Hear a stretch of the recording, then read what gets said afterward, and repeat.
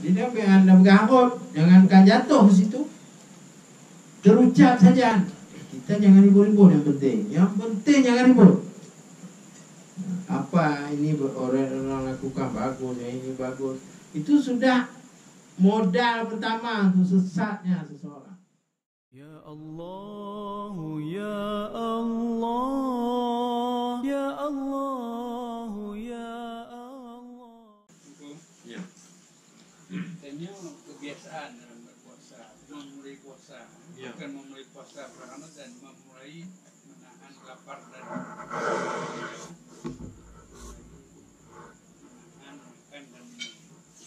biasa itu kebiasaan, kebiasaan kita mulai di waktu imsak. Tapi nah sebab negara berarti meninggal makan kita baju dan minum mereka imsak batas ini adalah menjelang subuh. Punya lagi nya, bahkan kita yakini bahwa ini imsak nanti yang anjir pada sepuluh, bahkan itu kan hukum ini harus.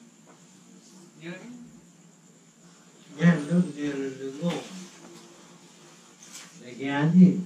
Tapi begitu apa setelah bunyi serunya kan mata kok. Memang sengaja ada cari rokok setelah bunyi seru. Eh setelah ya lah setelah imsak atau bunyi serunya.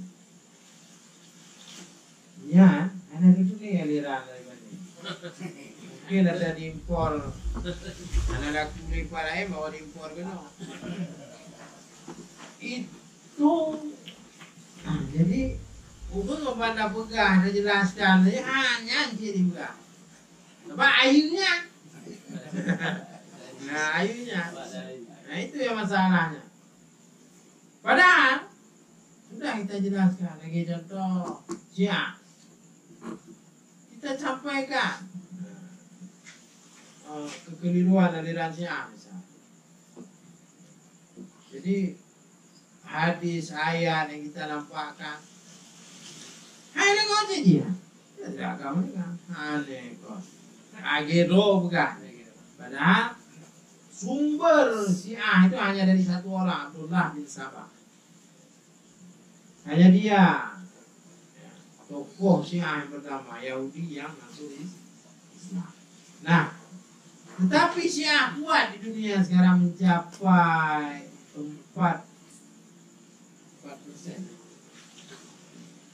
4 persen kalau tidak salah saya dari penduduk dunia.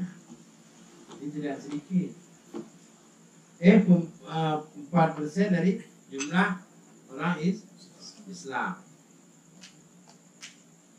Kalah dengan aliran Wahabi sekalipun, kalah dengan aliran eh, apa Ahmadiyah yang eh, heboh misalnya sekarang ini masih banyak siang.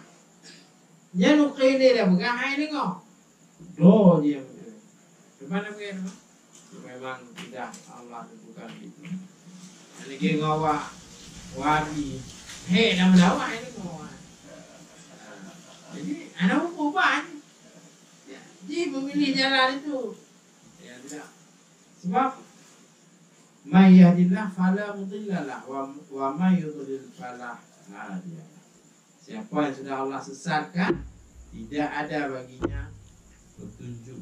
Dan siapa yang sudah Allah tunjuki tidak akan ada jalan baginya untuk dapat disesatkan. Jadi itu memang sudah takdir yang sudah Allah tuliskan. Cuma kita berjaga-jaga saja jangan beirut. Jadi yang anda bergarut, jangankan jatuh di situ. Terucap saja. Kita jangan ribut-ribut yang penting. Yang penting jangan ribut.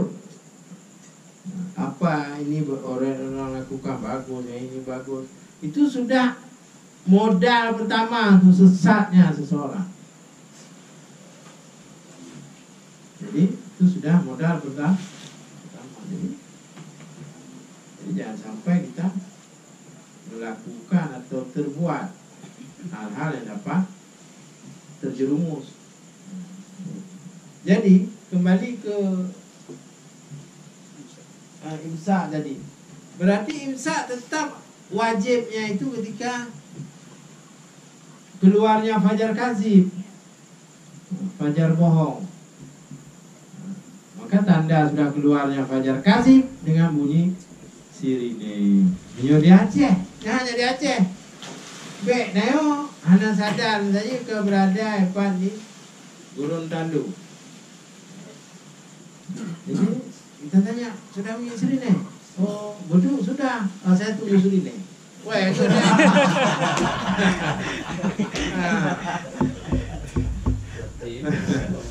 Ah, gua gak ada tawe, dia macam sirine. Nah, itu nggak ada. Cuman ada di Aceh. Nyampi karena Belanda belum tua ibu. Tinggal. Nah, dia balik, je aje ni balik dia pergi timbak. Jadi kagak kaji dalam padang. Nah, yang sirine yang jamu dipakai kalau ada pesawat tempur. Dengan pesawat tempur bunyi. Kita harus lari masuk ke. Hmm, menang. Jadi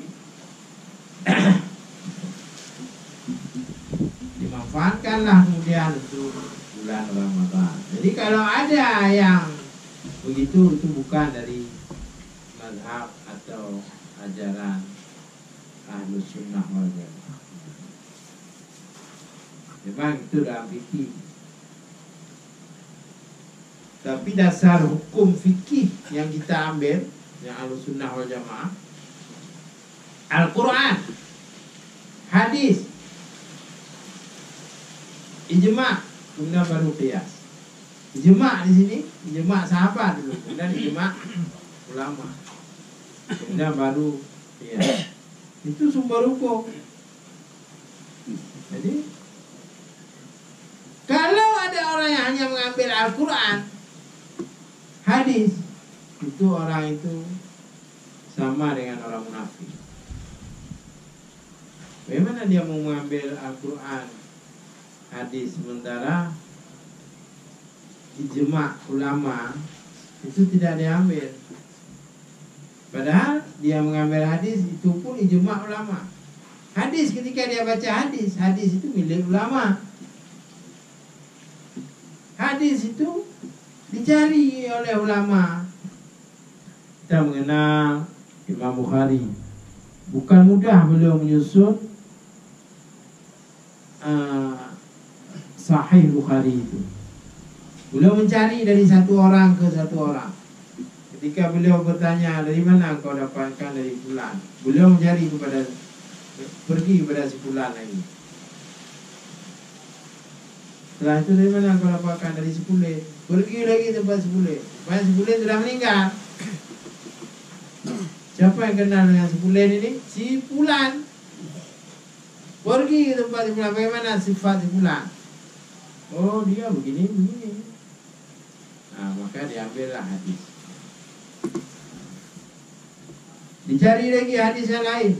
Dicari lagi riwayat. Bagaimana terhadap si Pulan? Oh dia saleh. Cuma dan dong. Oh hanya jadi. Jadi hadisnya diletakkan ke lahir. Jadi begitulah. Terus terus terus terus dia mencari hadis. Kemudian apa yang dia lakukan itu semuanya untuk umat. Semuanya untuk manusia. Nah, kemudian setelah dimanfaatkan sekarang ini diambil hadisnya tapi diambil jalan lain saya udah cok undang-undang dasar 45 tapi pun undang-undang dasar 58 nah tidak pakai kedua nah itu kita tidak berpedoman kepada aturan. Walaupun yang kita pegang nah dan pesan hadis riwayat Bukhari bagaimana? Alaikum bisunnati wa sunnah khulafaur rasyidin. Ikut olehmu sunnah ku dan sunnah khulafaur rasyidin sahabat-sahabatku. Tapi kenyataan sudah Imam Bukhari misalnya berkata begitu. Dalam kenyataan dia tidak mengikuti sahabat apa yang dipesan oleh sahabat. Nah itu bagaimana dia katakan dia ahli hadis berarti dia ahli bid'ah. Ya Allah, Ya Allah.